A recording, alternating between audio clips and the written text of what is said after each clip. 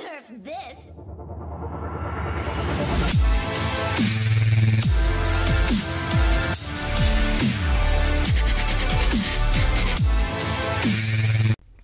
Hey guys, welcome back to Clash with Cory. If you liked the video, don't forget to subscribe to the channel. Also, check out the details of my videos when you get a chance. I've got a lot of great resources for you in there. I got a link to my Discord server if you want to hang out with me. Uh, if you have any questions, I, I, answer questions a lot in there, definitely. And, uh, you know, I've also got links to WHF's live streamers if you're interested in watching WHF Wars live, go ahead and give our live streamers a follow. You'll get a notification when, when they're streaming a live war and you can see the action as it happens. Also got links to WHF's recruiting Discord server. If you want to join the WHF family, go ahead and check out that link. You're going to see all the requirements you need, what, what you need to do before you apply. And then uh, I've actually got a video that just came out check you out to help you out with that process and after you apply as well. So hope to see you in WHF's recruiting Discord server. With that, I'm going to get into today's video. It is not today's video. I've already done another video today, but I'm going to get into this video. And uh, this is, you know, like a lot of my videos, a request from comments. Hey, man, can you do another Town Hall 11 video? All right, man, sure. I'll keep an eye out and we'll do it. So I'm going to do a base identification video. Just going to have three attacks in there and uh, made sure to grab a variety of different attacks. And uh, we're, we're in WHF2 for this one. We're going to take a look at Lincoln Logs fresh E-drag hit on number eight, and we're gonna see we're gonna see if we can identify what he was seeing in this base to make him think Electro Drag. So let's take a look. So first thing he's to do is he's to take out this whole compartment right here, most of it, with a blimp and a rage. Since this is a fresh hit, he's not sure what's in that CC, so he's got an option to go ahead and deal with it with heroes if it's air targeting. If it's a hound and a loon, since he's coming in with air troops, it's not even going to pop out. He's not going to have to deal with it at all. So really good job of, of, you know, since it's a fresh base and not knowing what's in there, having a plan for it either way. If it's a hound, he's got a plan. If it's a damage CC that can target air, he's got a plan for that too. So he's going to take this section out with that blimp and with full of max loons and a rage. And then he's able to come back in and kind of clean up this area. The trash building's left with like a baby dragon or something, or heroes. Actually, I think he uses heroes this time. Go ahead and clear this out so that we're left with this nice path got a lot of DPS over here, but man, it's a nice path. Look how close these buildings are. Remember, if buildings are like one tile apart, I believe, then that, that chain uh, lightning from the E-Drags really can target quite a few of them at once. So if you get a bunch of buildings and a nice path here that are that close, those E-Drags should, in theory, be able to take out a ton of those with those chains. Sometimes even before they're able to be targeted. So let's go ahead and take a look at how he gets through this one. Oh, and another thing to consider is sweepers. He's, you know, he's going to be fighting maybe this sweeper a little bit, but he's got a rage, plenty of rages to get through that section, and uh, he's got four freezes as well. So the freeze is going to help him deal with sweepers, help him deal with air defenses, and help him deal with these single target infernos because those are all big threats to E-Drags. They're really slow, and of course they're air troops. So any of the things that are going to do a ton of damage to air troops, and uh, you know he can address those with those freeze spells. So he does end up having a damage CC that can target air. We got a minion, we've got a witch, we've got a big dragon in there, and an archer. So his entire CC looks like can target air troops. That's fine. He had a plan for that. Gonna tank him with his king and kill them with his queen. He elected not to bring a poison here. Oh, I don't know, you know, I guess he just figured the freeze was going to be worth a lot more than, than a poison to help the CC, which is fine. There's really not any CCs that both of your heroes can't kill. No problem, as long as you get that king tanking out in front. Sure enough, he's got a baby dragon that helped with that CC kill and is also helping funnel those buildings. So just like we said, we got rid of a lot of the stuff in here, and we've got this nice path left over for the E-Drags to come in. Now he actually dropped some loons before his E-Drags. Normally dragons or whatever you want to drop them behind, but with I think what he's trying to do there is clear any potential black bombs that could do a ton of damage to his E-Drags. And if you can soak those up with some loons instead, uh, you know, sacrifice a loon or two to save an E-Drag or two, that's huge value, excellent value there. So he's got the freeze down on the Eagle, the Sweeper, and the Enemy Queen. Huge value from that freeze there continuing to use those rage spells in, in areas where he really needs to get those buildings taken out. The queen actually went inside this little trough right here, this base, and took out the eagle artillery. She's still in there doing some work and still has her ability to pop as well. Man, it's so hard to tell when these E-drag hits are going good because it'll look like they're kind of dying out, and then you get a few of them in a rage, and they just take out a huge chunk of the base all at once, and the tide turns. Look at that. So they did kind of fan out a little bit. Uh, you know, I think he was trying to keep in there a little bit more, but they're going to be able to come back in and target this last section just fine. And once again, we got these buildings are super close. So these these look at these chain lightnings are going to be able to target a ton of them at once. Wow, look at that. And uh, you know, just coming to this last section, a ton of electro drags left up.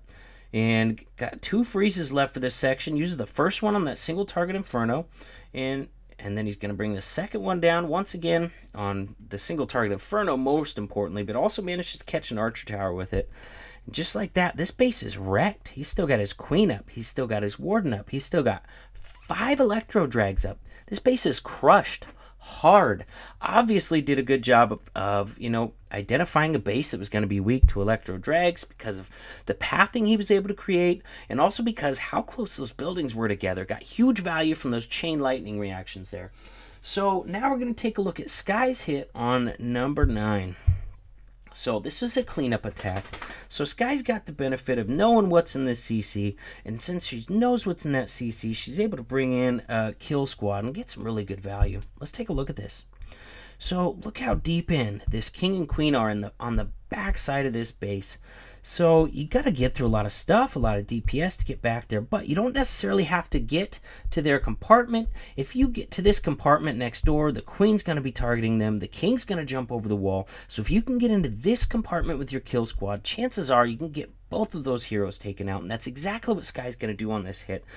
With a Town Hall 11, if you send your Warden in with your kill squad and take advantage of that Eternal Tome ability that makes them invincible during the time when they're taking the most damage, that really allows Town Hall 11s to get some excellent, excellent, really deep kill squad pushes, and Sky's going to show us just, just a really good example of doing that. And you notice, uh, you know, aside from getting in and taking out both those heroes, if you can take out this whole section, you're going to take out the Eagle. You're obviously going to take out the enemy CC during that as well. And you're going to leave a pretty nice little L-shaped path around the rest of this base. And uh, she's going to choose to use Hogs for the back end of this one. Since she's taken out both of these heroes with this kill squad, Hogs are an excellent choice.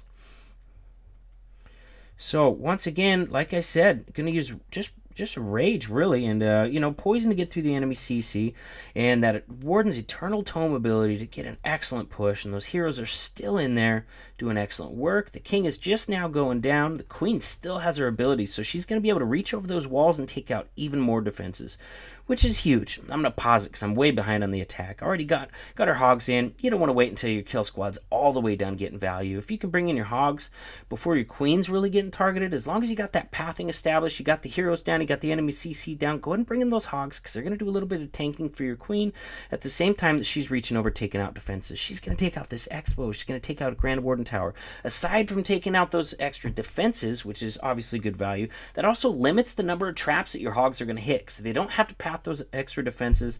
They don't have to pass through those potential trap locations as well. And, you know, traps are a huge threat to hogs, big time. Spring traps, giant bombs, uh, they can really do a number on a big pack of hogs. So anytime you're able to get extra value out of your queen, wow, she's going to pop her queen and get that other single target inferno as well. Huge value from that kill squad there. And, you know, that just goes to show if you're sending in your warden, bringing in, you know, a decent sized kill squad, you can get a huge push on Town Hall 11's base if you do it right.